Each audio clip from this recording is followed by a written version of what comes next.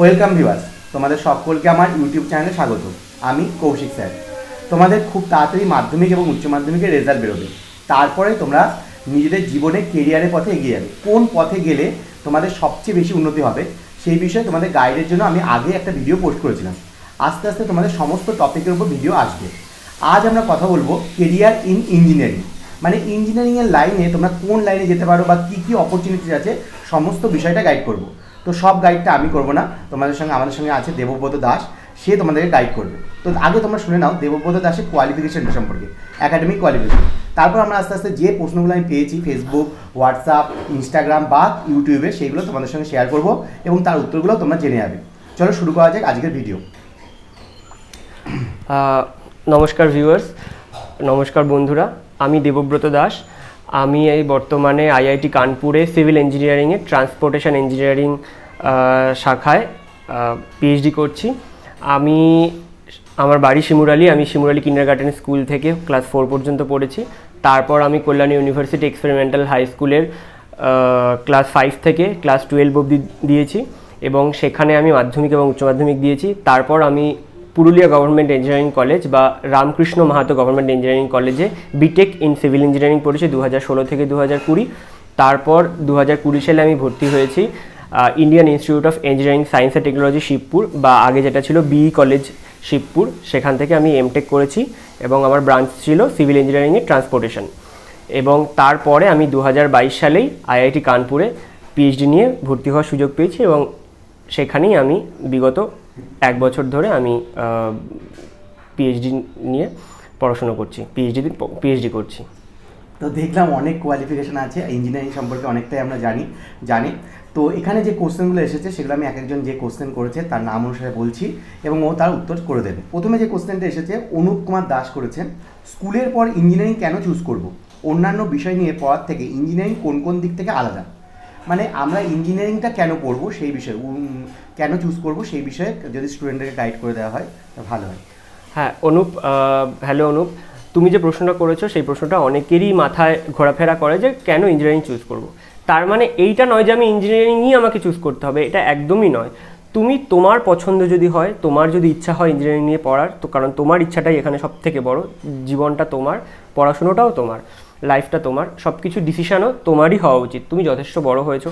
নিশ্চয়ই তুমি এইচএস দেবে, তারপরেই তুমি ইঞ্জিনিয়ারিং নিয়ে পড়াশোনা করবে। তো তোমার যদি ইচ্ছা হয় ইঞ্জিনিয়ারিং নিয়ে তুমি পড়তে পারো। এবার সেই বিষয়ে আমি বলতে পারি যে, কেন ইঞ্জিনিয়ারিংটা অন্য বিষয়গুলোর থেকে আলাদা? কিন্তু ইঞ্জিনিয়ারিংই সব থেকে ভালো, এটা নয়।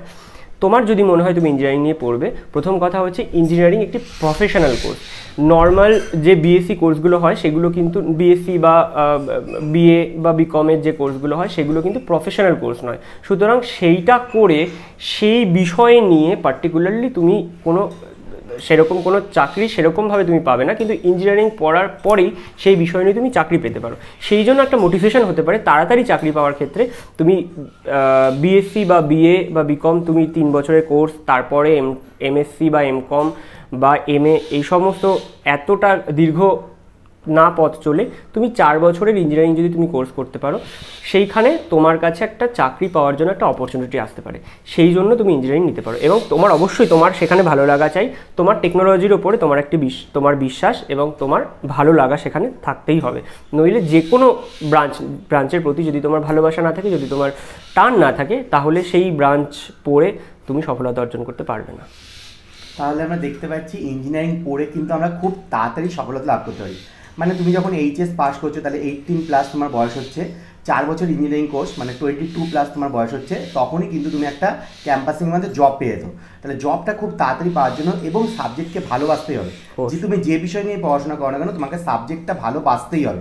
সেই বিষয়ে তোমাদের বলছেন। এরপরে তোমাদের আরেকটা কোশ্চেন করেছে জয়তী বসু করেছে। শুনেছি একাদশ ও দ্বাদশে না পাশ করেও নাকি ইঞ্জিনিয়ারিংয়ে ভর্তি হওয়া যায়।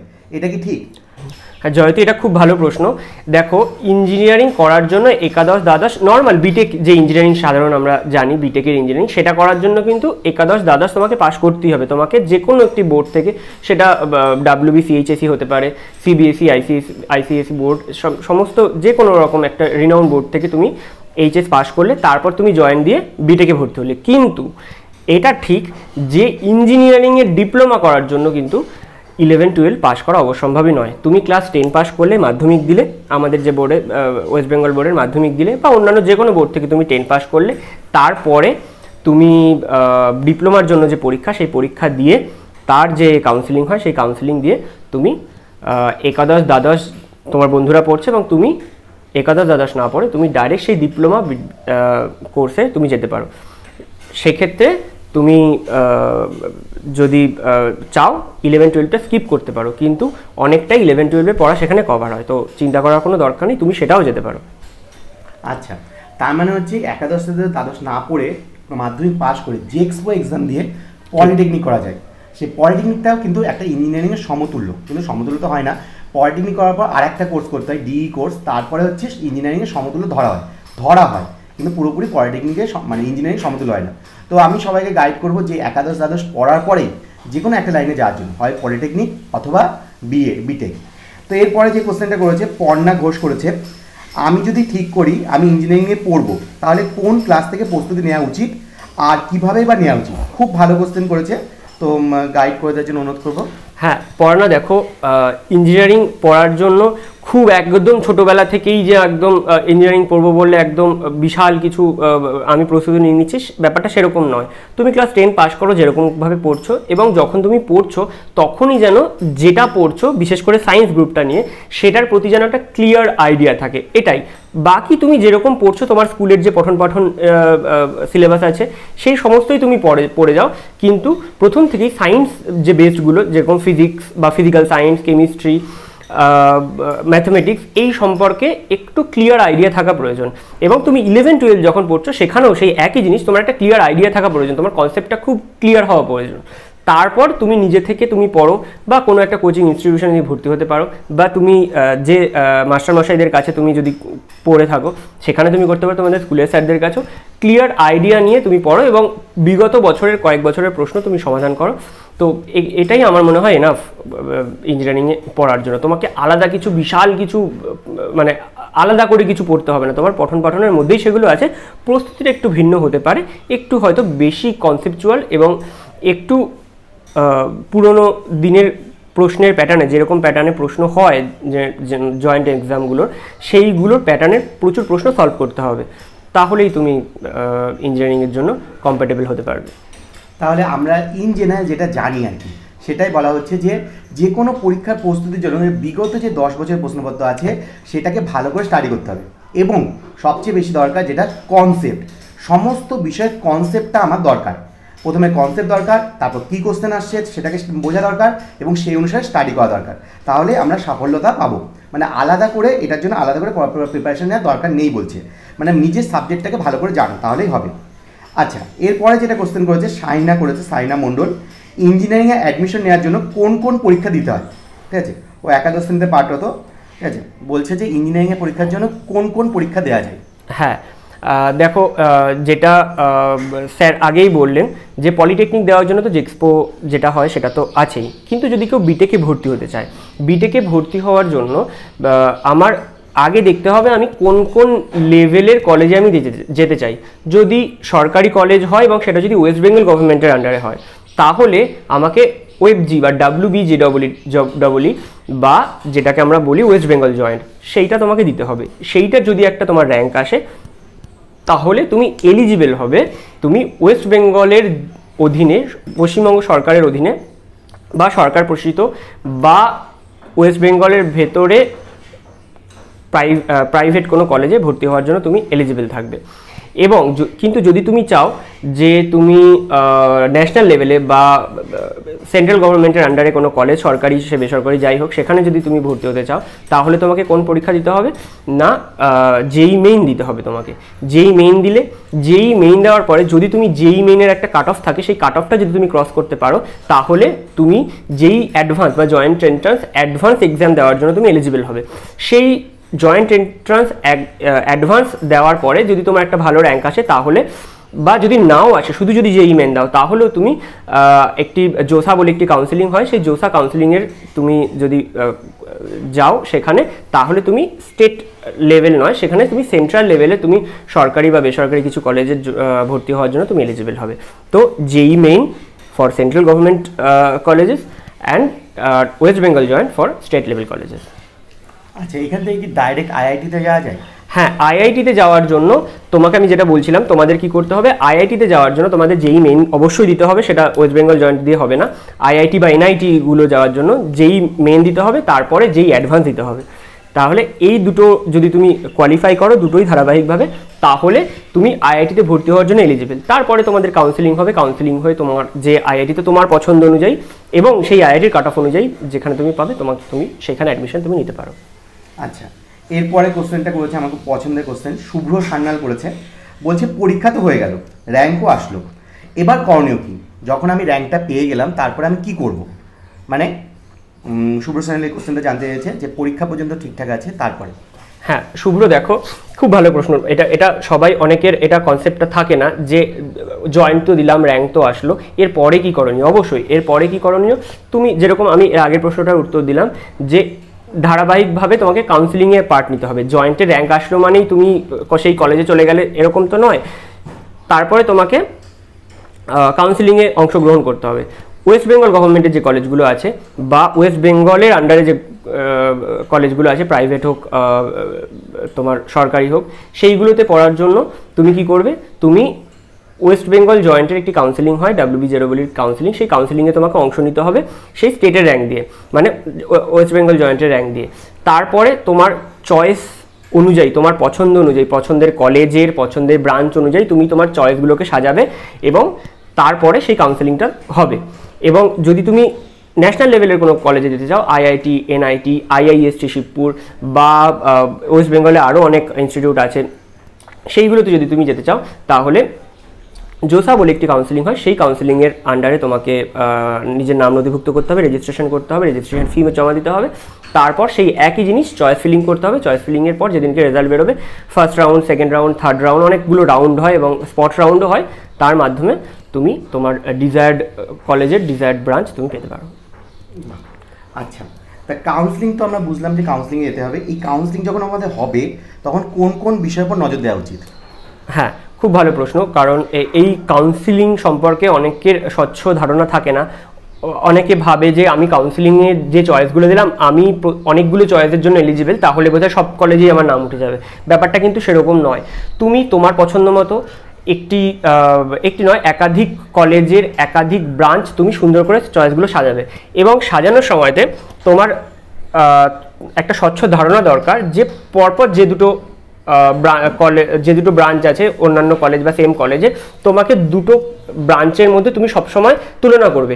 যে আমি এ কলেজের বি ব্রাঞ্চটা নিলে ভালো হয়, নাকি সি কলেজের বি ব্রাঞ্চটা নিলে ভালো হয়? যেটা নিলে ভালো হয়, সেটাকে উপরে রাখবে। এবং সেরকম করে বারবার বারবার স্ক্রিনিং করবে পুরো তোমার চয়েসগুলো দিয়ে। এবং চার, পাঁচবার স্ক্রিনিং করার পরে তোমার একটা স্বচ্ছ আইডিয়া তৈরি হবে যে হ্যাঁ এই এই আমি আমার পছন্দ মতো বা আমার ইচ্ছে মতো চয়েসগুলোকে আমি সাজালাম। তারপরে তুমি চয়েস লক করলে বা অটোমেটিকও লক হয়ে যায়। এটা করার পরে তোমার কিন্তু তুমি ওপর থেকে যে কলেজের জন্য প্রথম এলিজিবল হবে সেটাই তোমার লক হয়ে যাবে। তোমার যেটা লক হয়ে গেল তার নিচের চয় নিচের যে চয়েসগুলো তুমি ফিল করেছিলে, সেগুলোর জন্য কিন্তু তুমি আর লড়তে পারবে না। এইবার তুমি আপগ্রেডেশনে দেবে। আপগ্রেডেশানে দিলে তাহলে কি হবে? যে কলেজটা তুমি পেলে সেইটা এবং তার ওপরের যে চয়েসগুলো তুমি ফিল আপ করেছিলে, সেইগুলোর জমি, সেইগুলোর জন্য তুমি এবার কাউন্সিলিংয়ে তুমি খেলবে। এইভাবে তুমি যদি এলিজিবল হও, সেখানে যদি ফাঁকা থাকে, কেউ যদি আপারে উঠে যায়, কেউ যদি ফর্ম ফিল সে যদি না ভর্তি হতে চায়, তাহলে সে আস্তে আস্তে কাউন্সিলিংয়ের থেকে বেরিয়ে যাবে এবং ওপরের সিটগুলো খালি হতে থাকবে। তখন তুমি আস্তে আস্তে ওপরের দিকে উঠতে থাকবে যদি তুমি এলিজিবল হও। তারপরে তুমি এরকম অনেকগুলো কাউন্সিলিংয়ের শেষে তুমি একটা কলেজ পেলে এবং সেই কলেজে তোমাকে ভর্তি হতে হবে। এইভাবে তুমি তোমার ডিজায়ার্ড ব্রাঞ্চ তুমি পেতে পারো। এবং মাথায় রাখতে হবে যে তুমি চয়েস ফিলিংটা ঠিকঠাকভাবে করছ কিনা, তোমার পছন্দের কলেজটা তুমি ধারাবাহিকভাবে ওপরে আস্তে আস্তে রাখছো কিনা, সেটা কিন্তু অবশ্যই মাথায় রাখতে হবে। এবং তোমরা অবশ্যই মাথায় রাখবে যে কোন ব্রাঞ্চ নিয়ে তোমাদের পছন্দ, কোন ব্রাঞ্চে বেশি স্কোপ আছে, কোন ব্রাঞ্চে গেলে ভালো হয়, কোন কলেজের কোন ব্রাঞ্চ ভালো, এইরকম একটা তুলনামূলক আইডিয়া করে তারপর তুমি তোমার চয়েস ফিলিং করবে খুব সাবধানে। আচ্ছা তাহলে কাউন্সিলিংয়ের যে চয়েস ফিলিংটা হচ্ছে সেটা আমাদের খুব সাবধানে করতে হবে এবং আমাদের যেগুলো পছন্দ আছে সেগুলোকে যত বেশি পছন্দ তত বেশি উপরে থাকবে। এবং তুমি যেটা প্রথম কাউন্সিলিংয়ে পেয়ে গেলে তারপরে নিচে যেগুলো কিন্তু আর তোমার জন্য থাকছে না। সুতরাং সেইভাবেই তুমি ফিল আপ করবে। তারপর আপগ্রেডেশন করলে তুমি উপরে কলেজ পেতে পারো নিচের কলেজ কিন্তু আর পাবে না। সুতরাং ফর্ম ফিল আপটা বা কাউন্সিলিং আগে যে জিনিসটা হয় ফর্ম ফিল আপের সেটা কিন্তু খুব ভালো করে আমাদের করতে হবে। এটা আমাদের মাথায় ঢুকে গেল। এরপরে আমাদেরকে একটা কোশ্চেন করেছে তিয়াশা বোস করেছে ইঞ্জিনিয়ারিং কলেজে পড়ার জন্য কীরকম খরচ লাগে? হ্যাঁ। খরচ অবশ্যই যে কোনো পড়াশোনার ক্ষেত্রে একটা খরচ তো থেকেই যায় কিন্তু যদি তুমি সরকারি কলেজে পাও স্টেট গভর্নমেন্টের আন্ডারে কোনো একটা সরকারি কলেজ হুম সেখানে যদি তুমি পাও সেখানে খরচটা খুবই কম। আমি যে কলেজে পড়েছি সিভিল ইঞ্জিনিয়ারিং নিয়ে সেখানে খরচ ছিল প্রত্যেক সেমিস্টারে, এটা সেমিস্টার সিস্টেমে হয়। প্রথমে বলে রাখি, এটা চার বছরের কোর্স বিটেক এবং বিটেক চার বছরে, বছর হিসাবে হয় না, আমাদের বিটেক এখন সেমিস্টার হিসাবে হয়। সেমিস্টার মানে অর্ধ বছর মানে ছ মাস ছ মাস করে এক একটা সেমিস্টার হবে। টোটাল তুমি চার বছর মানে হচ্ছে আটটা সেমিস্টারে তুমি দেবে। প্রত্যেক সেমিস্টারের জন্য আমার খরচ হয়েছিল তিন হাজার টাকা। এবং এখনও সম্ভবত সেই খরচ, সেইটাই আছে। তো সরকারি কলেজ যদি তুমি পাও, সেই খরচটা অত্যন্ত কম। তোমার সমস্ত হোস্টেল খরচ সমস্ত দিয়ে তোমার মোটামুটি তিন থেকে চার লাখ টাকার মধ্যে তোমার হয়ে যাবে। কিন্তু যদি তুমি বেসরকারি কলেজ যদি তুমি নাও, তাহলে সেই খরচটা সেই বেসরকারি কলেজের ডিম্যান্ড এবং সেই বেসরকারি কলেজ কতটা চার্জ করে সেটা কলেজ টু কলেজ ভ্যারি করে। ব্রাঞ্চ হিসাবে এবং তোমার সেই কলেজের নাম, সুনাম এবং সেই কলেজ কীরকম প্যাকেজ দিচ্ছে, সেই সমস্ত বিষয়ের ওপর ভিত্তি করে সব কিছু তারা ঠিক করেন এবং ধরে রাখো মোটামুটি বেসরকারি কলেজগুলোতে আট লাখ থেকে পনেরো লাখের মতো পুরো চার বছরের জন্য এটা খরচ হতে পারে এবং তার থেকে বেশিও যেতে পারে কোনো কোনো সময়তে। আচ্ছা। তাহলে আট লাখ টাকা থেকে পনেরো লাখ টাকা হচ্ছে বেসরকারি কলেজ আর সরকারি কলেজে প্রত্যেক সেমিস্টারে মানে মেনলি পড়ার খরচ যেটা তিন হাজার টাকা। হ্যাঁ। তিন হাজার মানে আটটা সেমিস্টার তিন হাজার চব্বিশ হাজার টাকা। এরপর কি? ওখানে হোস্টেলে থাকছো তুমি খাওয়া দাওয়া করছ প্লাস বই খাতা কিনছো তার জন্য ওভারঅল খরচটা গিয়ে এক লাখ দেড় লাখ দু লাখ থেকে তিন লাখের তিন লাখের মধ্যে হয়ে যাবে সবচেয়ে বেশি তিন লাখ মতো খরচা হচ্ছে পারে ঠিক আছে? আর তারপর যদি তুমি বেসরকারিতে পাও বেসরকারিতে পেলে কিন্তু খরচটা অনেকটা বেড়ে যাচ্ছে। তো আমরা সবসময় চেষ্টা করব সরকারি কলেজে পাওয়ার জন্য এবং তার জন্য আমাদের একটা র্যাঙ্ক দরকার। এর পরের কোশ্চেনটা সেই একই রকম করেছে অয়ন করেছেন বলছে সরকারি কলেজে পাওয়ার জন্য কীরকম র্যাঙ্ক লাগে? ঠিক আছে, সরকারি কলেজে পড়ার জন্য আমাদের মিনিমাম কতগুলো সিট আছে বা কীরকম র্যাঙ্কের প্রয়োজন পড়ে? হ্যাঁ আমাদের সরকারি কলেজ যেগুলো, পশ্চিমবঙ্গের আন্ডারে যেগুলো সরকারি কলেজ আছে, সেইগুলো খুব বেশি না, হাতে গোনা কয়েকটাই আছে এবং সেইখানে ব্রাঞ্চ হিসাবে র্যাঙ্কগুলো ভ্যারি করে। যেরকম কম্পিউটার সায়েন্স ইলেকট্রিক্যাল মেন যে পাঁচটা ব্রাঞ্চ আছে CSC computer science engineering electrical EE ECE বা electronics and communication engineering civil engineering CE এবং মেকানিক্যাল ইঞ্জিনিয়ারিং এমই বা অনেক সময় আইটি বা ইনফরমেশন টেকনোলজি এই পাঁচটা ছটাকে মেন কোর ধরা হচ্ছে এখন। সেইগুলোতে পাওয়ার জন্য তোমার মোটামুটি পাঁচ হাজারের মধ্যে এবং অবশ্যই সেটা কলেজ টু কলেজ ভ্যারি করবে। পাঁচ হাজারের মধ্যে যদি তোমার র্যাঙ্ক হয়, সেটা খুব ভালো। কিন্তু যে পিছনের দিকে যে একটু সরকারি সরকারি কলেজই কিন্তু একটু পিছনের দিকে যেগুলোর এনআরএফ র্যাঙ্ক যা বা যাই বলো, সেই র্যাঙ্কিংয়ে একটু পিছিয়ে থাকা কলেজগুলোর জন্য মোটামুটি তোমার জেনারেল র্যাঙ্ক আমি বলছি, মোটামুটি দশ হাজারের মধ্যে তো চাই। কিন্তু যদি তুমি যাদবপুর জলপাইগুড়ি বা কল্যাণী গভর্নমেন্ট ইঞ্জিনিয়ারিং কলেজ এই সমস্ত সরকারি ইঞ্জিনিয়ারিং কলেজের জন্য যদি তুমি পেতে চাও, তাহলে মোটামুটি তোমার তিন হাজার থেকে পাঁচ হাজারের মধ্যে অবশ্যই র্যাঙ্ক চাই। অবশ্যই সেটা কিন্তু ব্রাঞ্চ টু ব্রাঞ্চ ভ্যারি করবে। ঠিক আছে, তো বলছি সরকারি কলেজে পাওয়ার জন্য মিনিমাম পাঁচ হাজার পর্যন্ত র্যাঙ্ক তো আমি নিজে অভিজ্ঞতা থেকে দেখেছি যে সাড়ে ছয় সাত পর্যন্ত কিন্তু সরকারি পেয়ে যায় হ্যাঁ। সেটা কীভাবে হয়? সেটা সেটা অবশ্যই পায়। সেটা কিন্তু যে ব্রাঞ্চগুলো এখন যেটাকে আমি বললাম যে যে ব্রাঞ্চগুলো এখন করে নয় নন করে যে ব্রাঞ্চগুলো থাকে সেইগুলোর জন্য একটু নিচে যায় সরকারি কলেজের র্যাঙ্কগুলো তো সেইগুলো পেতে পারে। এবং যদি স্পট কাউন্সিলিং হয় কোনো কলেজে স্পট কাউন্সিলিংয়ে কেউ গেল না তুমি একা গেলে। তখন তোমার সেই তোমার র্যাঙ্ক একটু বেশি তখন তুমি বেশি র্যাঙ্কও তুমি পেয়ে যেতে পারো। কিন্তু সেটা খুব কম দেখা যায় সেটা মানে সবাই যায়। তো স্পট কাউন্সিলিংয়ের মাধ্যমে একটু বেশি র্যাঙ্কেও যেতে পারে। তাহলে আমি বলছি যে স্কোম একটা তো আমরা দেখতে পেলাম যে পাঁচটা সাবজেক্ট আছে যেগুলো বেশি ভবিষ্যৎ ভালো। আর বাকি যে ইঞ্জিনিয়ারিং সাবজেক্টগুলো আছে সেগুলো কোর্স সাবজেক্ট না একটু ভবিষ্যৎটা কমা আছে। না আমি কমা বলতে চাই না। দেখুন স্যার সবগুলোতেই মানে যদি স্কোপ না থাকতো কোনো সাবজেক্টে তাহলে তো সেই ব্রাঞ্চটা তো এক্সিস্টই করতো না। তাহলে সেই ইঞ্জিনিয়ারিং কলেজ সেই ব্রাঞ্চটা নিয়ে চালাবে কেন? অবশ্যই সেখানে ডিম্যান্ড আছে, অবশ্যই সেখানে স্কোপ আছে, সেই জন্যই তারা ব্রাঞ্চটাকে এগিয়ে নিয়ে যাচ্ছে, সেই ব্রাঞ্চটাকে সুতরাং স্কোপ সবেতেই আছে। হ্যাঁ একটু বেশি কম হতে পারে বা ডিম্যান্ডটা বেশি কম হতে পারে। সেই করে মানে আমি কেমিক্যাল ইঞ্জিনিয়ারিং নিয়ে পড়ছি তার মানে এই নয় যে কেমিক্যাল ইঞ্জিনিয়ারিংয়ে কম স্কোপ সেটা নয়। আমি কেমিক্যাল ইঞ্জিনিয়ারিংয়ে পড়ি কেমিক্যাল ইঞ্জিনিয়ারিংও অনেক অ্যাবজর্পশন হয় এবং তুমি যে কোনো সময় ব্রাঞ্চ চেঞ্জ করে তুমি আইটি বা যে কোনো ফার্মে তুমি চাকরি করতেই পারো। না আমি তাহলে বলছি তাহলে ওভারঅল সরকারিতে পেতে কত অব্দি র্যাঙ্ক অব্দি হতে পারে? আমি তো বলব যে যদি করে চাই করে যদি চাই তাহলে উইদিন তিন থেকে চার হাজার তো অবশ্যই চাই। আর হাইয়েস্ট কত অবধি পেতে পারে হাইয়েস্ট ব্রাঞ্চের উপর ডিপেন্ড করে ছ হাজার সাত হাজার সাত হাজার অবধি যদি non-core সাত branch হাজার পর্যন্ত কিন্তু সরকারি কলেজে আমরা পেতে পারি। ঠিক আছে? এবার ডিপেন্ড করছে কিসের উপর? তো এরপরে আমাদের একদম জব ওরিয়েন্টেড একটা ছেলে কোশ্চেন করেছে ইয়ানুর মন্ডল বলে। বলছে ভালো চাকরি পেতে গেলে ইঞ্জিনিয়ারিং কীরকম রেজাল্ট করতে হবে? তাহলে আমাদের সবার কিন্তু একটা টার্গেট থাকে যে পড়াশোনার পরে কিন্তু আমরা একটা চাকরি পাবো।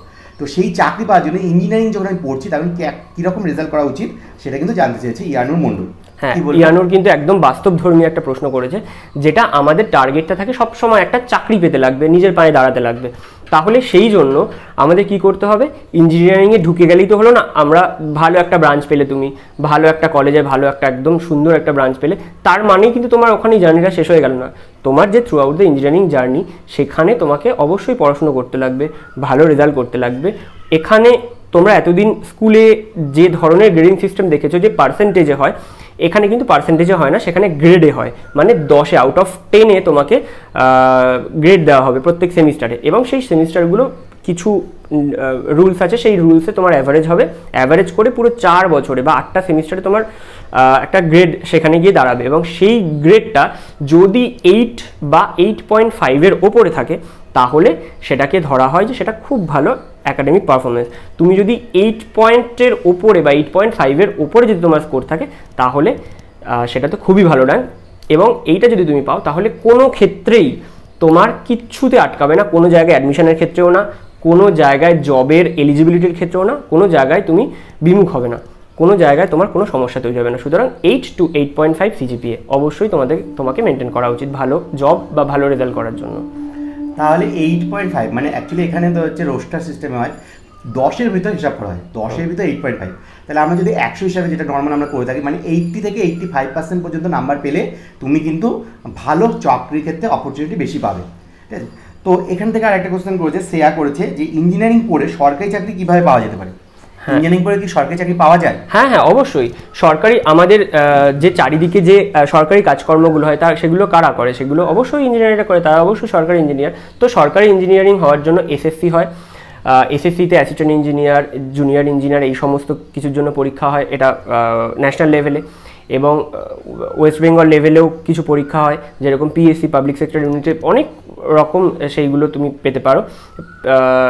সেই সমস্ত তোমার ভ্যাকেন্সি বেরোয়। এই এবং ভ্যাকেন্সি কিছু, কিছুর জন্য রিটেন টেস্ট থাকে।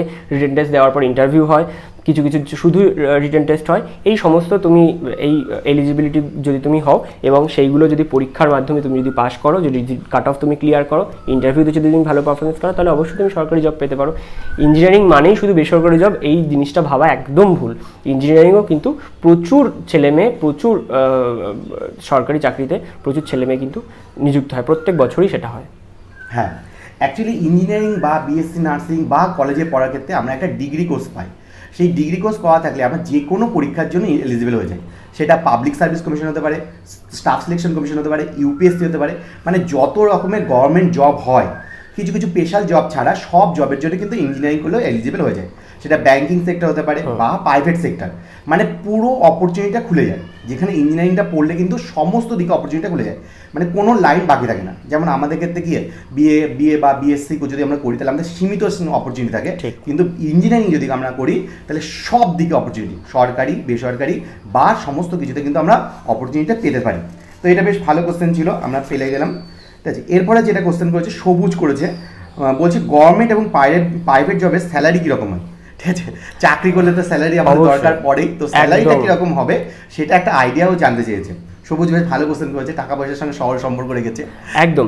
আলটিমেটলি চাকরি করলে তো হলো না আমি তো বিনা পয়সা চাকরি অবশ্যই করব না আমাকে একটা স্যালারি দেওয়া হবে। এবং সেই স্যালারিটা আমার এক্সপেক্টেশন এক্সপেকটেশনের সাথে মিট করছে কিনা সেটাও একটা একদম বাস্তবধর্মী একটা কোয়ারি থাকে। তো সবুজ একদম বাস্তবধর্মী একটা প্রশ্ন করেছে। দেখো প্রাইভেট সেক্টরে যদি তুমি কাজ করো সেক্ষেত্রে তোমার কোম্পানির ওপর ডিপেন্ড করছে, তুমি যে পজিশনটা তুমি হোল্ড করছ সেটার উপরে তুমি ডিপেন্ড করছে এবং সেখানে তুমি যত ভালো কোম্পানি হবে, যত তুমি উঁচু পোস্টে তুমি অ্যাডমিশ তুমি এমপ্লয়ি হবে সেক্ষেত্রে তুমি স্যালারিটা সেখানে বেশি পাবে। কিন্তু যদি তুমি সরকারি চাকরি, যদি তুমি করো, সেখানে একটা তো ফিক্সড থাকে। তো আস্তে আস্তে সরকারি নিয়মেই সেটা প্রমোশন হবে।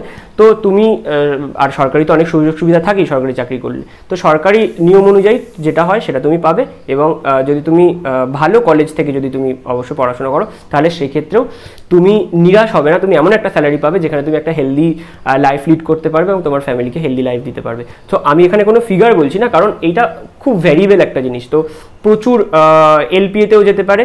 আবার তুমি যদি খুব বেসিক একটা যদি চাকরি পাও, সেখানে খুব কম এলপিএতেও তুমি চাকরি পেতে স্যালারি স্যার মিনিমাম তো এটা বলাটা খুব কঠিন। এবার মোটামুটি একটা যদি সরকারি কলেজে তুমি পড়ো একটা মিনিমাম একটা লেভেলের যদি এতে তাহলে তো সিক্স এলপিএ থেকে তো মোটামুটি ফাইভ টু সিক্স এলপিএ ছ লাখ টাকা পার অ্যানাম ঠিক আছে? মানে এক বছর ছ লাখ টাকা।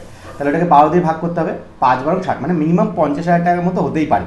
ঠিক আছে তার চেয়েও বেশি পাই। আমরা তো হ্যাঁ। মাঝে মাঝে খবরের চ্যানেল দেখি যে দু কোটি টাকার প্যাকেজ পেল বা এক কোটি টাকার প্যাকেজ পেল। ঠিক আছে তো সেখান থেকে হচ্ছে এইরকম কিন্তু বারবারই আসে। ইভেন আমি যখন স্টুডেন্ট ছিলাম ঠিক আছে তখনই আমার একটা বন্ধু চাকরি পেয়েছিল সে সিক্স লাখ টাকা পার অ্যানাম পেয়েছিল। সে খুব পড়াশোনায় ভালো ছিল এবং পেয়েছিল। তো এখন তো আরও অপরচুনিটি বেশি হয়ে গেছে আরও অনেক অনেক হয়েছে।